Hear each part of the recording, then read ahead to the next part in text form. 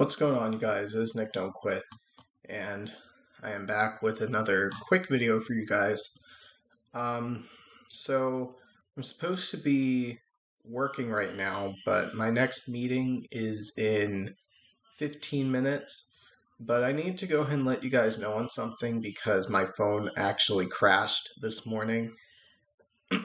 and what I mean by that is my phone randomly just turned off for no reason. Um, so I was charging it last night, and I tried turning it on this morning to see some of the messages that I got and some of the notifications that I got on my iPhone, and then it just randomly turned off. I don't know why, because I've had this problem numerous times.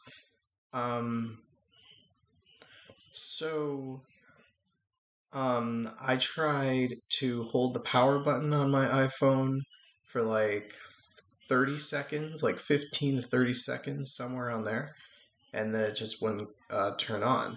And then I also tried some other methods which did not work, unfortunately.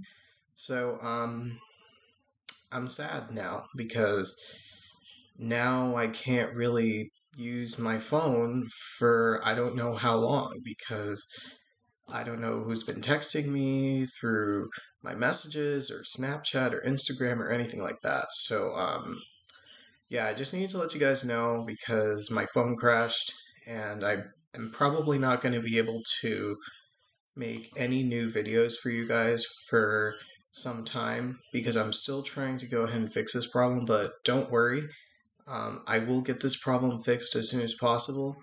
Um, but I had to let you guys know because this is just annoying, frustrating, sad, and disappointing.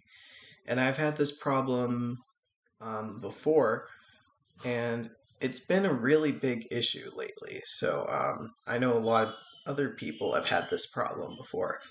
But um, yeah, I'm currently in school right now. I'm doing remote learning, and um, my next meeting, which is English, will be in 15 minutes. It's currently 11:45. Um, but I had once again I had to let you guys know about this because um, I'm probably not going to be able to uh, make any new videos for you guys for some time until I get this problem fixed because I don't know who's been texting me through my messages or Snapchat or Instagram or who has probably sent me friend requests on Snapchat, or probably who's been following me on Instagram, or new posts on Instagram from some of my followers, or anything like that. Um, but I had to let you guys know about this because this is just a big problem, and I'm trying to see if I can get this fixed as soon as possible. So I'll let you guys know once I get it fixed. But if you guys enjoyed this video, make sure you do leave a like, comment, subscribe, turn on post notifications share this video with your friends. And until next time, I'll see you guys later.